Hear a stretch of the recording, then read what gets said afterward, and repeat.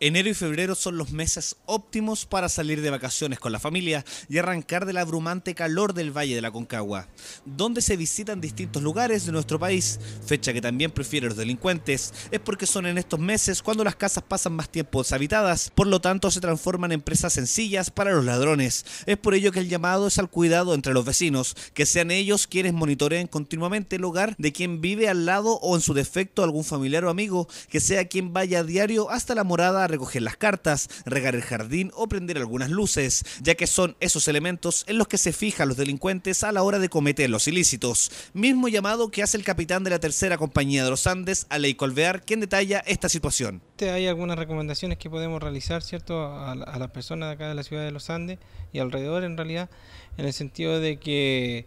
comúnmente hay épocas, ¿cierto? O tiempos durante el verano en que las casas quedan solas producto de que sus habitantes salen de vacaciones. Entonces la recomendación es, encargar las casas con vecinos y eh, también para que ellos puedan encender las luces y hacer algunas maniobras dentro del domicilio que permitan eh, demostrar que sí hay habitantes en el lugar eh, encender televisores, eh, prender las luces, regar, recoger los sobres de las cuentas que de repente quedan en en